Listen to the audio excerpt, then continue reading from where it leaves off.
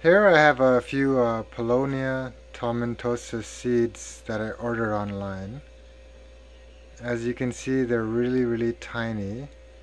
Um, and anyways, I saw on YouTube a uh, video that you could actually germinate them in the water. So there you can see that there are two that are actually germinating, but they're really tiny.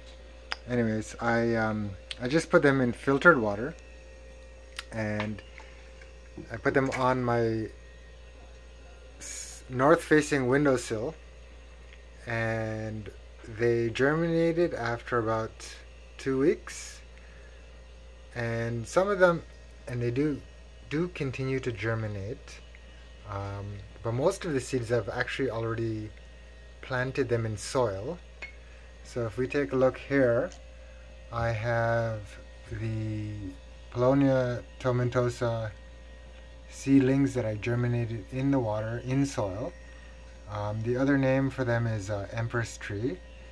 So there's some there and they're actually quite tiny still. There's uh, my finger for um, comparison. And these ones have been growing for about three weeks well, three weeks since I, or yeah, three weeks since they germinated. And they aren't growing particularly well. Uh, it's February right now, so the north facing window doesn't really get much light. Um, here is another pot that of the same uh, Paulownia tomentosa that I actually planted on January 10th um, after two weeks of cold stratification. Um, and as you can see here, there are only two very, very tiny shoots coming out.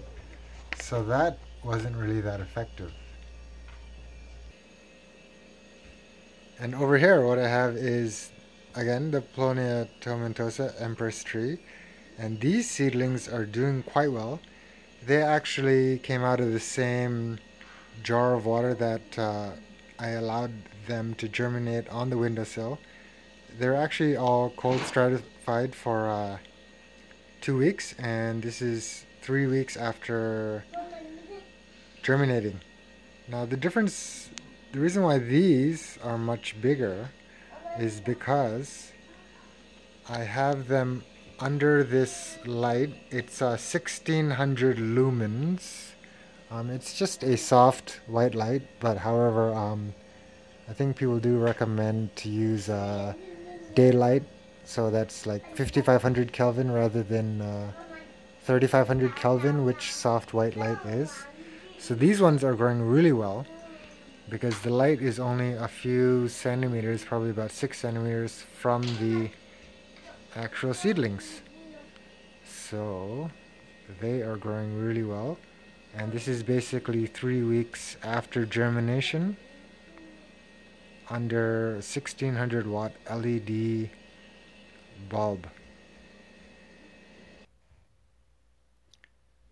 Now my last set of Paulownia tomentosa that I grew were actually not cold stratified at all. I basically just put them in the soil, like at the top, and I just mixed up the soil a bit.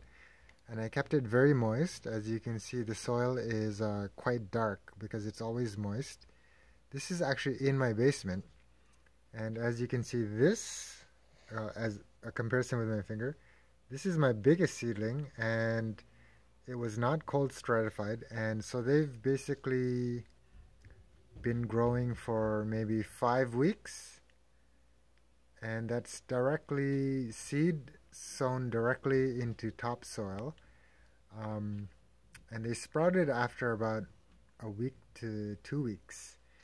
Now the the difference here is that I'm using this photography light which gives out 1600 lumens um, and it's at uh, 5500K, so it's like a daylight, or maybe it's 6500K for photography.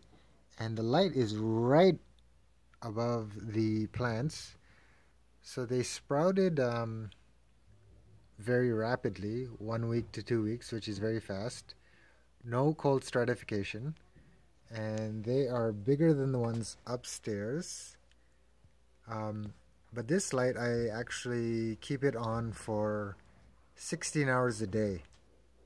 So they have 8 hours of darkness and then uh, 16 hours of light. And it's on a timer so it is it turns on at 8 a.m. every morning and turns off at midnight every day. So they these got these ones are growing really well.